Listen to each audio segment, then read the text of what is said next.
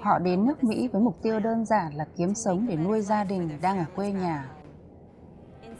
Trong số hàng ngàn nông dân Lào, Thái Lan và Việt Nam là người làm thuê thì hàng trăm trong số họ hiện đang sinh sống ở Hawaii. Đồng nghiệp của tôi, Claire và tôi chia sẻ một câu chuyện về một người lao động xã hội hồi năm 2008. Đó là hai người Thái Lan có kế hoạch làm nông nghiệp ở Hawaii.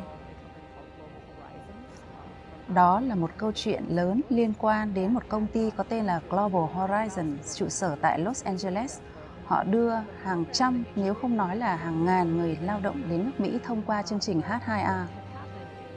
H2A là một chương trình định cư hợp pháp, nhưng chương trình này lại được sử dụng như là công cụ khai thác. Người lao động từ Thái Lan phải trả rất nhiều chi phí tuyển dụng. Sự thật là người lao động được dỗ dành hứa hẹn về những công việc cao siêu cùng với thu nhập Họ đến đây và thấy may mắn được làm việc, thậm chí chỉ làm có một ngày trong một tuần, họ không được trả lương như đã hứa hẹn.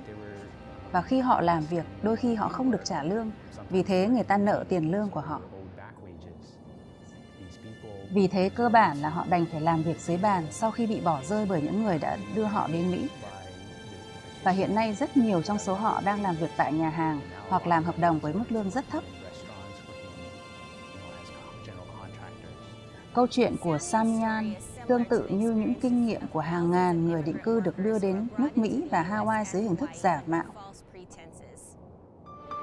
Ở Thái Lan khi anh đang học lớp 3, Samian phải bỏ học để giúp đỡ gia đình. Anh và mẹ làm việc trên một cánh đồng mía trong khi bố anh chăm sóc các em gái ở nhà. Vào vụ mùa, anh cũng giúp gia đình đi cấy lúa. Hầu hết những người làm công không kiếm được hơn 1.000 đô một năm ở Thái Lan. Họ là những nông dân sống dựa vào nghề trồng lúa là chủ yếu. Ở Mỹ, lương của họ có thể được khoảng 9 đô một giờ. Họ có thể làm 48 giờ một tuần. Và họ tính rằng nếu họ trả 16.000 đô để sang đây, họ có thể trả hết số tiền này trong vòng một năm. Và một hoặc hai năm sau họ có thể trở về Thái Lan với số tiền đó trong túi. Đây là cái họ đã làm tương tự từ nước khác. Nhưng để có số tiền lớn đó, họ đã phải cầm cố đất, nhà và mọi tài sản để vay ngân hàng. Họ mượn tiền khắp nơi. Đó là nỗi lo của cả một gia đình. Họ gom góp bất cứ gì họ có để một người có thể ra đi kiếm tiền giúp cho cả gia đình ở Thái Lan.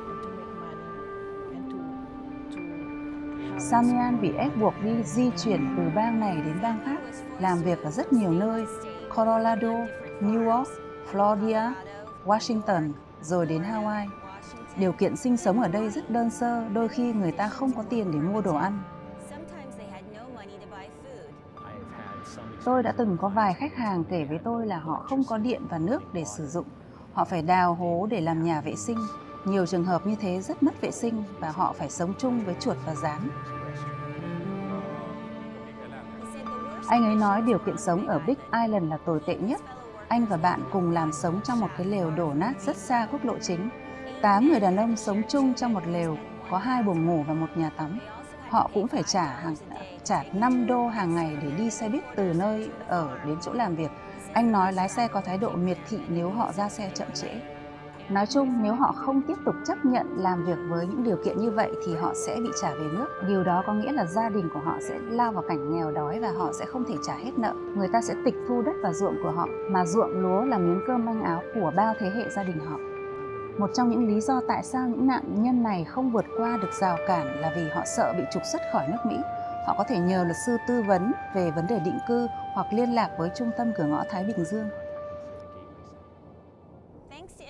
Cảm ơn các luật sư nhập cư và Trung tâm Cửa ngõ Thái Bình Dương, câu chuyện của anh Samian có thể có hồi kết tốt đẹp. Sau khi anh được chính phủ Mỹ xác nhận là nạn nhân trong vụ buôn người bất hợp pháp, Samian được vào danh sách những người tị nạn. Điều đó có nghĩa là anh có thể đoàn tụ với hai con anh ở Hawaii. Sania là một đứa trẻ mới biết đi khi cha của em rời Thái Lan và hiện nay em 8 tuổi, em trai 18 tuổi. Samian hy vọng các con anh sẽ được giáo dục tốt ở Mỹ để họ không trở thành những người lao động chân tay với mức lương rẻ mạt. Sau vài năm tiếp tục làm thuê, Samian đã tạo được cơ hội giấc mơ ở Mỹ, ở Hawaii. Nhờ đó, trung tâm cửa ngõ Thái Bình Dương, anh đã được vay vốn và được giúp đỡ xây dựng một cơ sở nuôi trồng thủy sản ở Kahuku. Tuy nhiên, lợi nhuận không được nhiều lắm nên Samian kế hoạch sẽ trồng cây chanh và chuối. Hai con trai anh khá ổn, con lớn sẽ vào đại học năm sau. Nhưng có hàng trăm nạn nhân nhập cư khác là nông dân bị buôn bán trái phép ở Hawaii cần được giúp đỡ. Nhìn nhận về vấn đề này chỉ là một bước đầu tiên.